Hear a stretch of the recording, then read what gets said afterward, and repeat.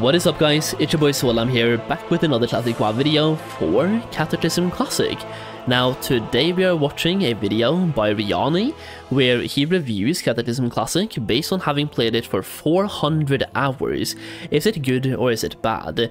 Now before I watch this video I have also played Cataclysm quite a bit. I do believe, based on the content I've seen from Riyani in the past, we play the game a lot differently. He is a much better raider than I am, he's probably cleared the raid on Heroic already, if he hasn't cleared it multiple times, and I believe he's played Cataclysm on various other servers in the past as well. Me, on the other hand, I haven't played Cataclysm since OG Cataclysm, and even now I've only done the raids on normal, I haven't even cleared it on normal, and the reason why is that me and my guild had a falling out very early, which has made me basically quit raiding. Now the thing is, the only raid that I'm really excited for in Cataclysm myself is Firelands anyway, maybe Dragon Soul to a certain extent, but mainly Firelands, so phase 1 for me was never really a raiding phase, and the thing is, I wanted to join a casual guild, which I was able to do, but they were a little bit too casual, to the point where they would do a pull, and then they would have a 10 minute break and then do another pull, and then have a 10 minute break. And we're not talking about 10 minute strategy breaks, we're talking about 10 minute bio breaks, 10 minute food breaks, smoke breaks. Just like your typical, I don't know what this is, like retirement home guild, where you're able to do one pull, then you have to go and take a nap.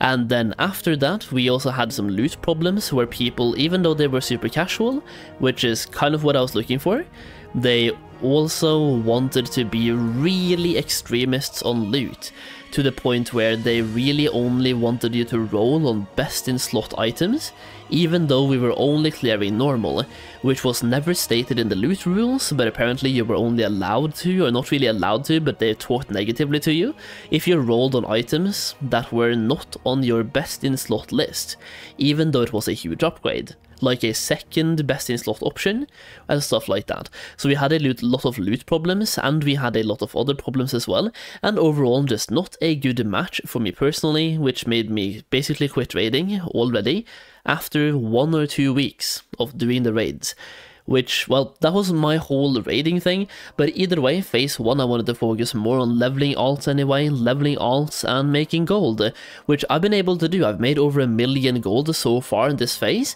and I have leveled 4 level 85s, I have a couple of level 84s, a couple of level 83s, and just overall burning rested experience to level a couple of alts. And I love leveling in Cataclysm, I really do. I love the dungeons, I love the zones, I love the quests, I love the lore, overall overall it's a really good dungeon to level in if you ask me, and I'm having a good time. I'm not playing it like 20 hours a day though, but I'm having a very good time.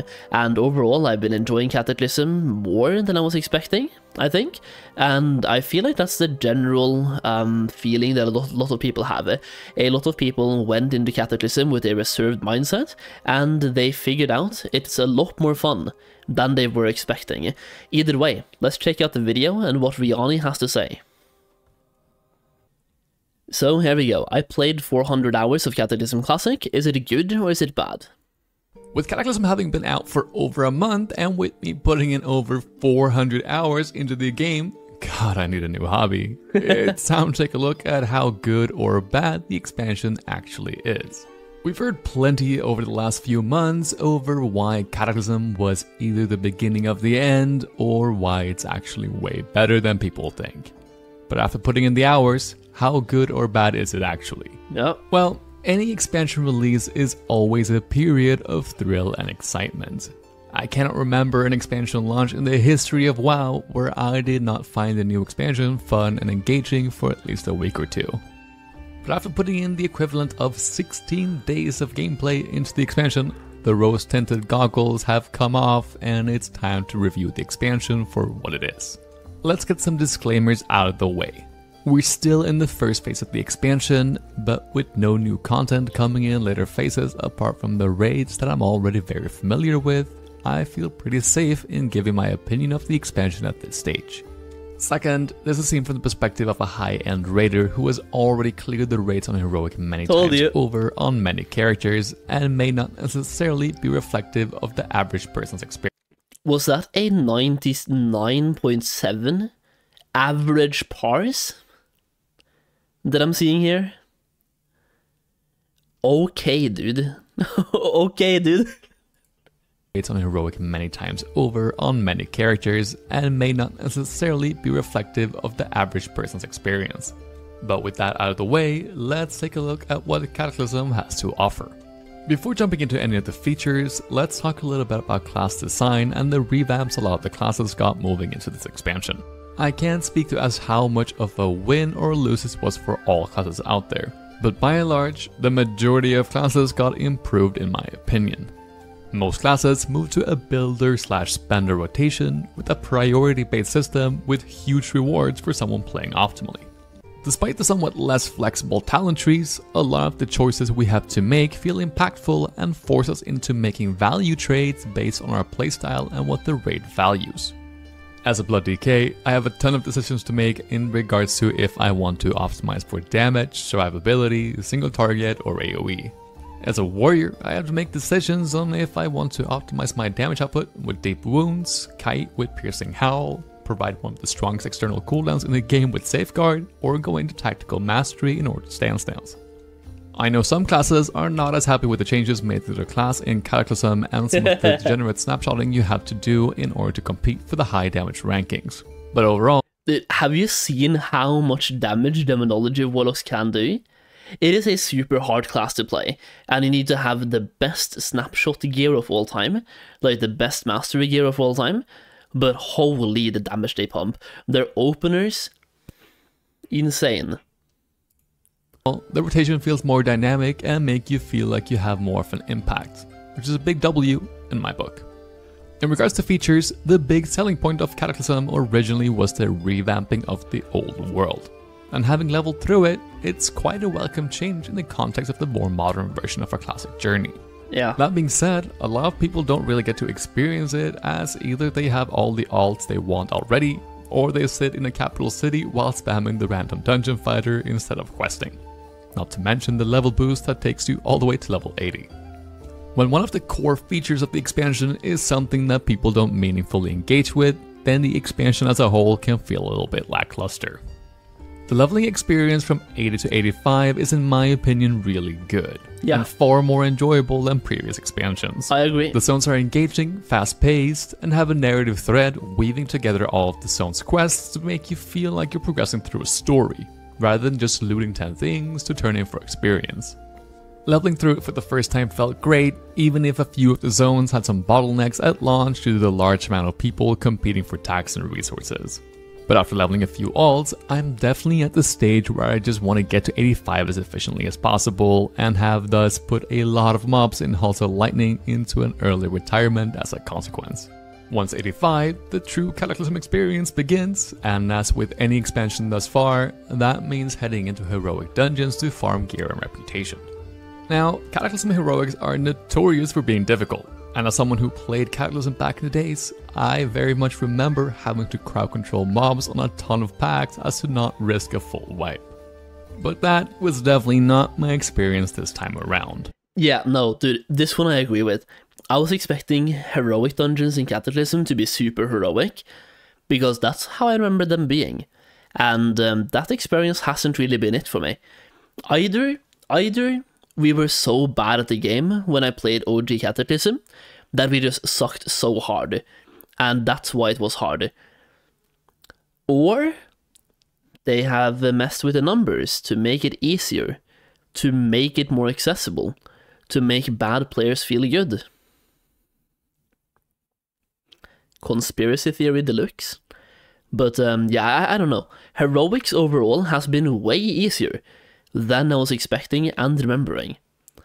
Maybe that's just me having blurred vision, or memory, or us being super bad back in like, what was it, 2014? 2012? I don't, 2010. I don't even know when anymore, but a long time ago. Maybe we just sucked at the game. On all my tanks, I've hopped into heroics right after being 85 with little to no trouble. As far as I can tell, they are in a nerfed state, and we as players are just much better at playing the game than we were all those years ago. And that's a bit of a shame in my opinion. But I think that's the reason why Classic desperately needs dungeon progression content, as pretty much all content outside of raiding is made obsolete as soon as pre-raid best in slot gear is acquired. Whether that's a Mythic Plus type system or a challenge mode that caps our item level, the Gamma dungeons from Wrath just simply ain't it. While I'm definitely not huge on PvP, the addition of rated battlegrounds was absolutely huge and if you engage with it in a meaningful way, it can be one of the most fun things this game has to offer. Yep. Of course, the classic community doing what it does best has collectively agreed on optimizing the fun out of the lower ratings, with the meta being to have one big fight in the beginning and whoever loses that fight will AFK for the rest of the game. That, that that's not just the classic WoW community though. Playing Cataclysm back in the day and of Pandaria as well, and being a PvP Andy in retail for the most expansions and doing RBGs as my only way of doing PvP. This was a thing back in the day as well. You were either chasing rating, which if you're doing that now, then obviously you don't just have one fight. If you're chasing rating, then you do everything you can to win. But if you're chasing your cap, then what you do is you have one fight, and if you lose that fight or you get absolutely demolished, you literally AFK. Which is, that happened 10 years ago in whatever expansion retail was in back then. I did PvP in Warlords of Draenor, same thing happened then as well, one big fight, then AFK, or like either AFK or a free win. Same thing in Mists Pandaria, either AFK if you lose, or free win if you win. Like you had one big fight. Whoever dominated that fight, free win. That's not just the classic WoW community though. This becomes less and less the meta the higher up the rankings you go. So it's not a big problem in my opinion, so that the people who want their 2 set PvP gear for their PvE set can do that without much trouble.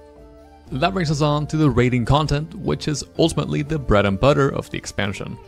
Let's talk briefly about the decision to make the raid size adjustable between 10 and 25 men, as I have some mixed feelings about it.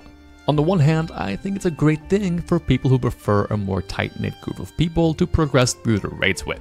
And as someone who has several alts but only one main raid team, it has been great to be able to put together a group of people to clear heroic content without needing to organize with 24 other players. While there are definitely some differences in the difficulty, it's overall much better tuned than I expected as I remember hearing horror stories from the 10 man difficulty in tier 11 from back in the days. That being said, playing 10 man still very much feels like playing 10 man in Wrath of the Lich King despite it being created as a equal counterpart to 25 man. 10 man logs are meaningless and with it dropping less loot proportionally to 25 man, it still feels like 25 man raiding is the way you're supposed to play the game. Looking at tier 11, I have to say that I'm a big fan. The three raids make it feel different as you go from boss to boss and give you a ton of flexibility in what order you choose to pursue your progression bosses. The difficulty curve is perfect for the average player in my opinion, but as someone who raids at a bit of a higher level, I would prefer to have an end boss with a higher difficulty curve in order to have something to really progress on. Yeah. But instead, we got three end bosses which were rather similar in difficulty. But I'm not too bummed out about that, as Firelands will almost certainly have just that, depending on what kind of tuning we'll end up getting. Right now I'm at the stage in Cataclysm where I'm in full maintenance mode, and with as much loot dropping as it does, I will probably be full BiS before the next raid tier comes out. That also means that if they decide to implement a Gamma style dungeon system in the next phase like they've hinted at before, that content will likely be useless from a progression perspective, which will also be a bit of a bummer. Ultimately, I think Cataclysm is a solid expansion and is very similar to Wrath in my opinion. If you're the type of person who enjoys to raid log while playing a different yeah, then the heroic and beta and gamma dungeons, even in Wrath as well, it was never a alternative to Abyss progression. It was more an, a way to catch up.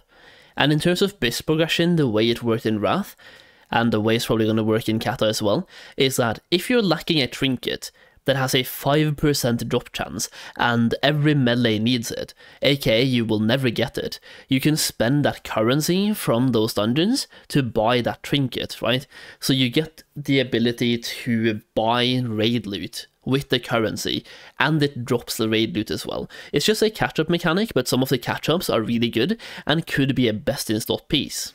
But it will never be. If you're fully bis from heroic raids in phase one, you will not get any upgrades from heroic dungeons like the alpha dungeons in phase 2 because they will offer normal raid equivalent loot from phase 1 so he's just too good at the game to um, take advantage of alpha beta gamma. Game on the side then this version of WoW is the perfect game for you if you want to play more than just during raid night, then this expansion does not necessarily facilitate that unless transmog and achievement hunting is something that you enjoy. This expansion, as a whole, gets a rating of eh, mid. Let me know how you've been experiencing Cataclysm. Uh, Riyani gave it a eh, mid out of 10? Holy, okay. I would give it an eh mid plus. But, like, it it's pretty good. And comparing it to Wrath, it has more to offer than Wrath outside of raiding hours, if you ask me. Because simply, once again, we have rated battlegrounds if you want to do PvP. We have transmog hunting if you want to do that. We have battle pet hunting, mount hunting. Um, leveling alts is probably more. It's more of a thing now with the revamp of uh, old Azeroth as well. There's a lot of things you can do outside of raiding hours, but the only question is, do you want to? If you're only playing one character. Like, if you're only playing one character, the only thing you want to do is raid, you don't care about transmog, then obviously there's not much to do, because you don't want to do shit. You just want to raid, right? I'm not talking to you here, Riyani, but like as a, as a normal person, like if you, if you, the only thing that Eric wants to do in WoW is raid, he doesn't care about transmog at all, like not a care in the world, he's not going to want to do anything. Leveling alts is not an activity for him. It it doesn't exist. Rated battlegrounds as well doesn't exist for that person. But Cataclysm has a bunch of things you can do. The only question is, do you want to? For me, it's a pretty good expansion. It's um, I would rank it eight out of ten. 7.5 to 8 so far and if your experience differs from mine. There's plenty more content to come, so if you enjoy what I do, then make sure to subscribe. But that's all for now. Thank you very much for watching. Until next time. Uh, I will say, I've been watching Riyani's videos for quite a while and it's been really helpful to me when I'm playing my Blood DK. I did not know that he was such a big, like, heroic raider and with that good parses. So that was surprise number one for me, and well done. Well done. If you want to show some love to, to Riyani, which I really recommend, I will be linking the video down below in the pinned comment. So once again, go and show some love, really good video. And uh, he's played Cataclysm just as much as me, maybe even more. 400 hours though should be around the same that I have, but he's been doing it differently. So either way, good video, show some love. If you enjoyed me reacting, let me know in the comments down below as well by giving, well, you can give the video a like and then let me know in the comments. And let me know if you had to rank Cataclysm on a 0 to 1 to 10 basis, where would you put it? I would love to see some uh, comments about that. Either way, thank you for watching. I really do appreciate it. I will see you again in the next video very soon.